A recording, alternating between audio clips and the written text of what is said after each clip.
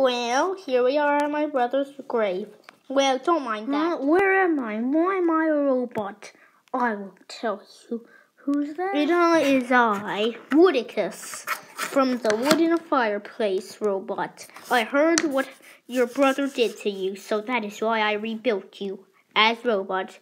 So, just to make sure that never happens again, your steel skin is immune to fire. Yay! Now, destruct the city. Wait, am I supposed to ask you orders?